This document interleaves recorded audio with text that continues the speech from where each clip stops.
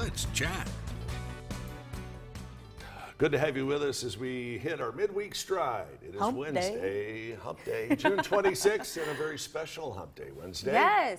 So there's still plenty of time because we want you to load the car up and join us at the Lookouts game. Yep. That is a midday game. 1st pitch is going to be around 11 o'clock. Right. Guess who's throwing out that first pitch? Is pitches. Pitches. Pitches. Because there's two of us. There's two of us. And we're both doing yeah, it. Jess and I get the honor of throwing out the first pitch for the Chattanooga Lookouts. That'll be a lot of fun. Mm-hmm. Businessman special today. So mm-hmm. Oh, well, how that that's that's not a very appropriate term. that's what they call it. Yeah, I know. They used to call it the businessman special, then it went to the business person special, and now it's the midday getaway. Oh, person. I give. I was like, why is that? It's the same thing. It's the same thing. I didn't know why You've been practicing, from what I understand. Yes, I have been you practicing. really? I'm terrified that I'm not going to make it to home plate because Mm-hmm. I've never done this before. So Aim high. I've been practicing. Aim high. A little nervous. We'll so see how that if you come out to the game, say hey to us. Don't laugh at me when I don't make it to home plate. You'll make it to home plate. Little secret. Come enjoy it. They let you walk down as far as you want to comfortably make it across. So I can stand this distance. Well, it's probably a little further than that. Okay, But anyway, okay, okay. Going to be a lot of fun. Lookouts today at the ballpark. And again, uh, get there a little before 11. Jess and I would love to hang out with you for a while. Mm-hmm. Yeah. Maybe you can give us some tips on how to make that pitch Yes, clear please. home plate. Woohoo! Lookouts. All right. So stop. In the name of love. Very good, very good. But in this particular case, stop is one of our table talk items this morning Okay. because there's a place in California who misspelled the word stop. How? Well, they were doing some painting on the street, and as you can tell here, stop Oh, came out to be S T P O. Depot. P O. Depot. The name of the city is Lemon Grove. It's out in California. And they said that this mistake was the fault of a contractor. Well, I would. I mean, it's yeah. Whoever No. painted it. I'm not the smartest knife or the brightest bulb or any of that in the arsenal, but I can spell stop. Uh huh. I can spell stop. I know how it's spelled. And if you think the contractor accidentally misspelled the word stop, what kind of other Things are not yeah, quite be right. Falling through the cracks? Ugh. Think of any words that you can make up using the letters S T O P? There's a lot. There are a number of There those, are aren't they? lot. Mm-hmm. Name me one. Just one. Post. Post is good. Tops, Spot. ops. Ops. Ooh, Ops. ops, is a good one. Yeah. Pots. So anyway. And this is right outside this. of an elementary school, by the Oh. way, so that kind of adds. well, there's a good injury. teaching lesson Yeah. for the children. But it's still not a word, any way you, any way you slice it. I, I, I really want to ask our viewers to post videos to our Facebook page of their children spelling stop for us. do it. yeah. That'd So if you got any, if you have any young kids at home Yeah. and they can spell stop, share a video with us of them spelling stop. Just And in the interest of full disclosure, earlier this morning, I was putting the weather graphics together for our morning show, and one popped on the air, and I'd spelled mainly M I A N L Y.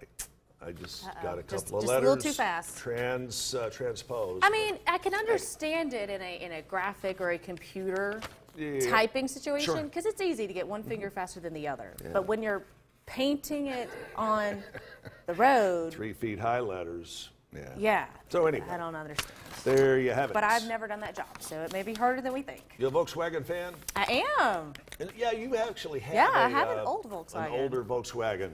Yep. It's white. Yes. Correct? Triple white. Well, there was a uh, subject of our next item here. A longtime Volkswagen fan from New Jersey used the power of social media, believe it or not, Mm. uh, as a time machine to bring back a little blast from her past. Oh, look at all that fun stuff. Meet this lady. Her name is Amanda Dorset. She's had nearly a dozen VWs over the years, but it all started with the very first one, which was a 1975 Purple Beetle she got when she was 16. Aww. The story gets better.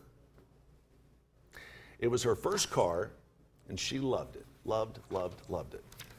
went back to school, or back to her hometown rather, Mm-hmm. uh, for a class reunion, and an old friend linked her to a car that was for sale on Facebook. And as soon as she saw the Facebook posting, she knew that it was her first car. Yeah. Complete with a title still in her mother's name and her name still hanging in the rear window.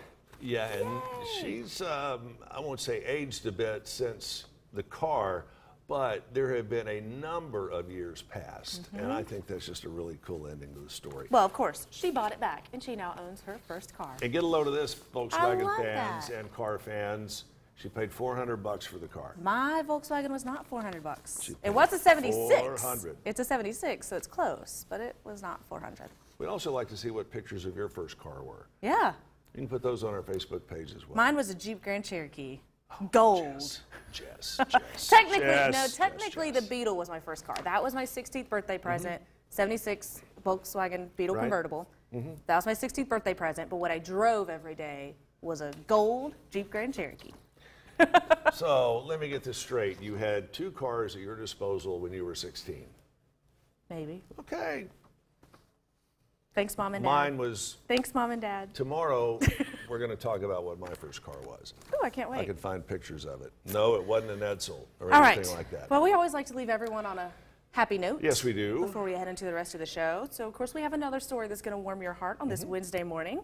So, a woman got some support from her dog. Imagine that, another puppy story. This is killer video. It's the best video I've seen all day. She's exercising at her home in California, doing sit ups on the floor. And every time she placed her back on the floor, her dog named Charlie would give her a high five. Watching Paul right there. That's right. So, he's one supportive pup. He really is. Great workout motivation. I want to let that video play just for another just few seconds. Is that not the cutest thing you've seen all day? Double paw, double paw. Yeah, I know. Good work, Oh, Mom. Good that's work, so Mom. cute. Yeah. I, I have tried to work out with my dog, who's considerably larger than this dog. If Right. You've seen our Facebook page, I posted a picture of him last night and our Instagram. Uh, I, I've done push-ups with him, Right. and he comes and he puts his paws on my back. It's really cute in this So he's video, helping. But when he's like you work 100 pounds, it's Yeah, that could, that could be a little. Uh, a Hey, if your pup is supportive, share it with us. When I'm working out at home, that's funny. When I'm working out at home, my dog helps.